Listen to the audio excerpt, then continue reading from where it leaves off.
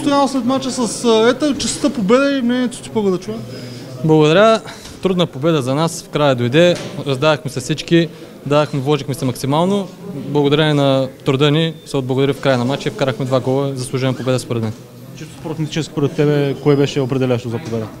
Това, че бяхме настоятелни до последната минута, търсехме гола, атакувахме постоянно и късмета ни покри. В смисъл това не е късмет, просто то е резултат на, това, на всички положения, които създадахме.